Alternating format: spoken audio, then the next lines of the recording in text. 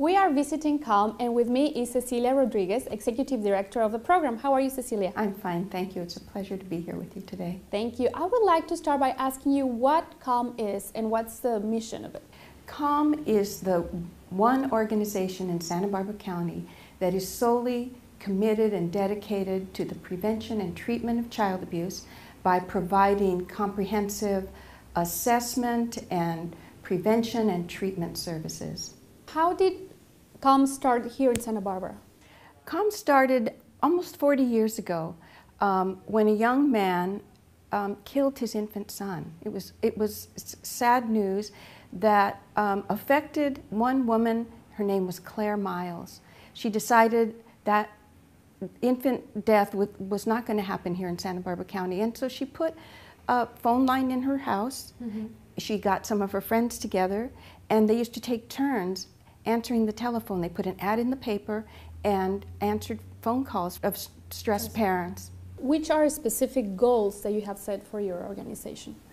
Well, it would be wonderful if we didn't have to exist, if we could work our way out of having to treat child abuse. Mm-hmm. Um, because fundamentally, we would like to move away from the treatment of child abuse and to move towards prevention. Let's prevent child abuse entirely by supporting young families with um, stressed parents and giving them the services they need so that child abuse never happens.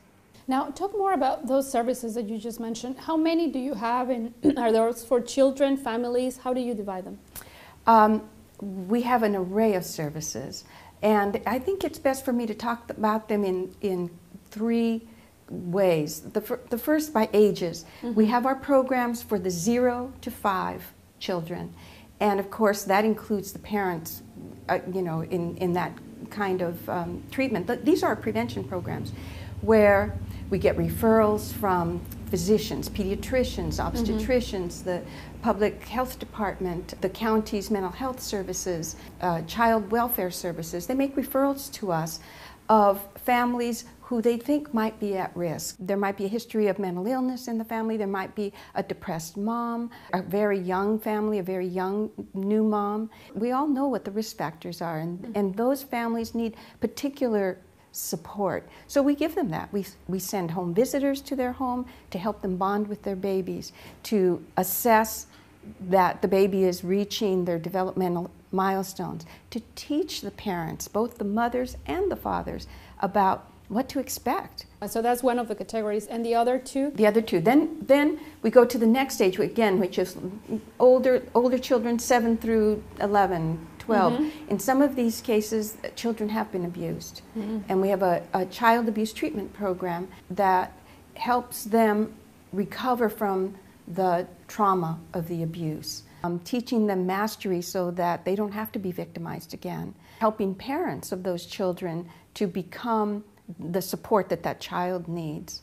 We have parent child interaction therapy that also helps parents to uh, parent their children that have some challenging behaviors. Mm-hmm. Then we uh, have services for the older child, maybe 11 through 18 or mm-hmm. 20, who um, often those are children that are part of the mental health system that have been taken out of home often or at the point of being removed from their homes. Mm-hmm. And so we support foster parents in, in parenting these children, or we support parents so that they don't lose their children. Now, tell me, uh, I know behind these programs are a lot of people working, and some of them might be volunteer, but you do also have professionals working with oh, you, absolutely. Right? Can you tell absolutely. me more about your staff? Yes. We have a wonderful staff of um, over 50 professionals we have uh, licensed marriage and family therapists, licensed social workers, interns and trainees. We have a psychiatrist on our staff who comes um, uh, once a week who also will work with our families and help with you know, medication management and so forth.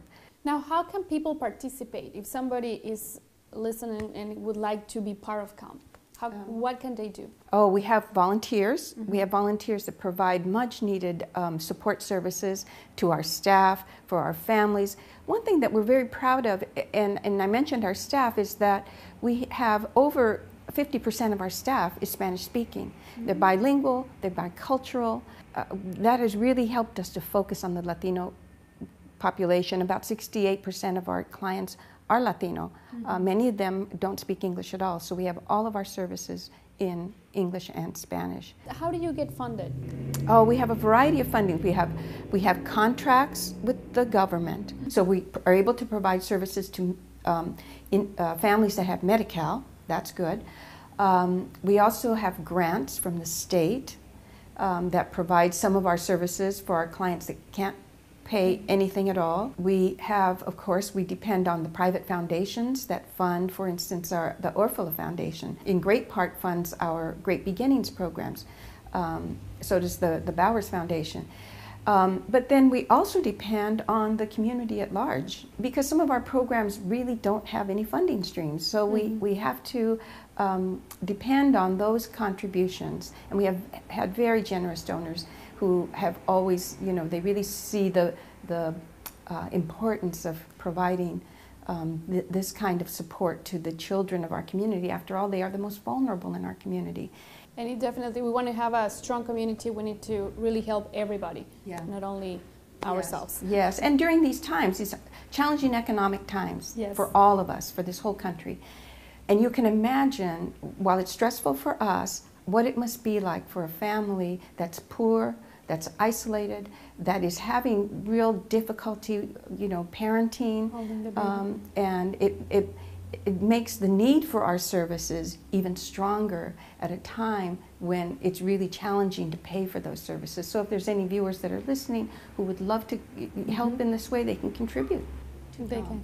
Could you provide us with your website and phone information, or even location for people uh, Right. if they, you know, need further Yes, we're located at the corner of um, Victoria and Chapala Streets. Um, we're in a nice old churchy looking building, which in fact was a Mhm. church. That's why we have these stained glass this windows. right here. Yeah. and um, uh, our phone number is 965 2376. We always have someone who answers our phone, speaks both English and Spanish. And our website is calm4, that's the number 4, kids.org. Well, thank you very much, Cecilia, for all that information. I know it's your program is very, very, very important for our community. And if you are listening to us, please contribute to whatever, maybe your time, maybe money, or maybe just by spreading the word to a friend that needs it. Thank, you Thank very you. much. Thank you very much. For more information on the Nonprofit Spotlight, check our website at www.sbchannels.tv or call 963 3893. If you'd like your nonprofit featured in a future Nonprofit Spotlight, contact us at the information on your screen.